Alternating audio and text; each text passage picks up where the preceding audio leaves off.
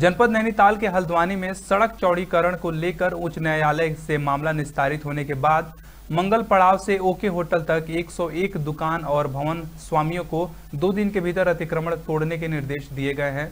लोक निर्माण विभाग और नगर निगम द्वारा जारी किए गए नोटिस में 23 अगस्त तक अपने भवनों को स्वयं तोड़ने को कहा गया है, जिसके चलते सभी व्यापारियों और भवन मालिकों में हड़कंप मच गया है। इसी को लेकर सिटी मजिस्ट्रेट एपी वाजपेयी ने बताया कि सड़क चौड़ीकरण मामले में निस्तारित होने के बाद अब प्रशासन ने दो दिन के भीतर सभी 101 दुकानों को नोटिस दे दिए हैं।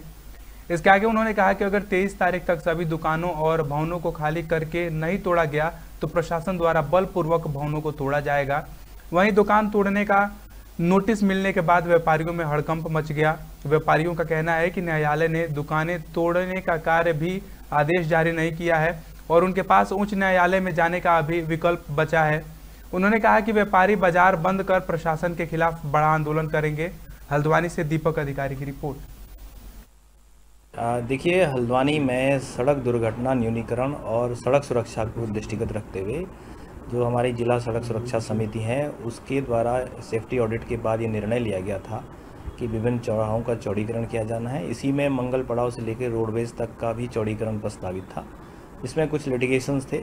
जो अब समाप्त हो चुके हैं, उसमें मध्य मार्ग से दोनों तरफ़ 12 मीटर इसको वाइड किया जाना है। उसके क्रम में लोक निर्माण विभाग द्वारा 23 अगस्त तक का समय सभी भू जितने भी वहाँ पर लोग रह रहे हैं, उनको समय दिया गया कि वो स्वयं अपना इंक्रोचमेंट हटा लें।